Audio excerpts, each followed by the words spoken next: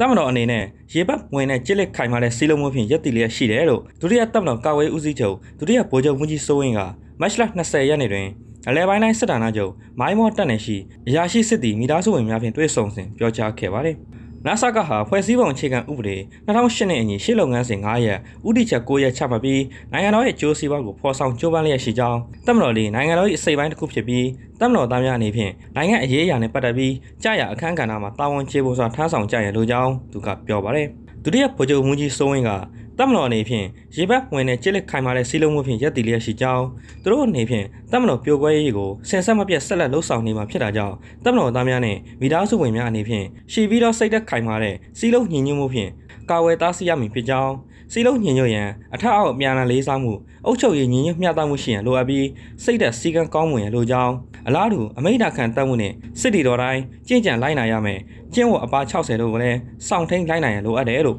ဒုတိယဗိုလ်ချုပ်ကြီးစိုးဝင်းကပြောပါတယ်။တပ်မတော်ဒီဗမာကွန်မြူနတီကိုဖြိုခွဲစဉ်ကအတွင်းစီးကိုပြိုကွဲအောင်ပုံညာရှင်ကိုစီယုံခဲ့ကြောင်းယခုတပ်မတော်ဒီအတွင်းစီးဖြိုခွဲခြင်းနီးပြူဟာအပေါ်စိုးရိမ်နေနိုင်ကြောင်းနိုင်ငံရေးလေးလာသုံးသက်သူဦးရဲထွန်းကခုလိုပြောပါတယ်။ကျွန်တော်အတွေ့အကြုံရတော့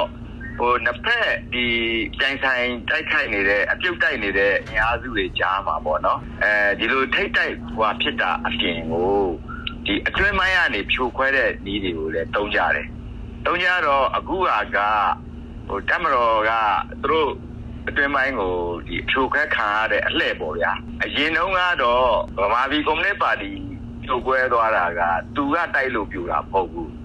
သူ့အတွင်းပိုင်းမှာပြိုကွဲသွားတာအဲ့လိုပြိုကွဲသွားအောင်ကတက်မတော်ကပဲလုပ်ခဲ့တာဒီအတွေ့အကြုံကကြောက်စရာကောင်းတာပေါ့နော်သူတို့လည်းတက်မတော်အနေနဲ့လည်းအဲ့ဒီအတွေ့အကြုံကိုအဲ့နေပြီးပါတော့သုံးတယ်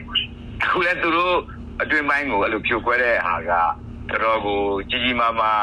ရှိနေတယ်လို့ထင်ထင်တယ်ယူဆရတာပေါ့နော်ဆန္ဒပြခြင်း CDM ပြုလုပ်စေခြင်းတို့ဖြင့်အောင်မြင်မှုမရတာကြောင့်လက်နက်ဖြင့်အပြစ်မဲ့ပြည်သူများကိုတပ်ဖြတ်ခြင်းလုံခြုံရေးတပ်ဖွဲ့ဝင်များကိုချောင်းမြောင်းပစ်ခတ်ခြင်းစတဲ့လုပ်ရများကိုပြုလုပ်လာခဲ့ကြောင်းနောက်ဆုံးအဆင့်ဖြင့်တပ်မတော်ကိုဖြိုခွဲရန်ဥတီကြိုးပမ်းလာခဲ့ကြောင်း ထို့လိုဆောင်ရွက်ရာတွင်တာဝန်ခံမှုမရှိတဲ့လူမှုကွန်ရက်များကိုအသုံးချပြီးသတင်းသူသတင်းမှားများဖန်တီးထုတ်လွှင့်ခြင်းများပြုလုပ်လာကြောင်းဒုတိယဗိုလ်ချုပ်မှုကြီးစိုးဝင်းကပြောပါတယ်။လက်ရှိမြန်မာနိုင်ငံတွင်2021ခုနှစ်ဖေဖော်ဝါရီလ1ရက်နေ့ကအမျိုးသားဒီမိုကရေစီအဖွဲ့ချုပ် NLD အစိုးရကို2020အထွေထွေရွေးကောက်ပွဲမဲဆင်းအငင်းပွားမှုဖြည့်ရှင်းမဲ့အစိုးရဖွဲ့စည်းရေးကြိုးပမ်းတယ်လို့ဆိုကာတပ်မတော်ကဖြုတ်ချခဲ့ပါတယ်။ အဲ့ဒီနောက်နိုင်ငံတော်ကိုအရေးပေါ်ကြေညာပြီးဆောင်ရွက်လျက်ရှိရာဒီမိုကရေစီအင်အားစုများတိုင်းဒေသလက်နက်ကိုင်အဖွဲ့များ NLD ပါတီဝင်များကလက်နက်ကင်တိုက်ခိုက်ခြင်းဖြင့်တပ်မတော်ကိုပြန်လည်ဖြုတ်ချရန်ကြိုးပမ်းလျက်ရှိနေပါတယ်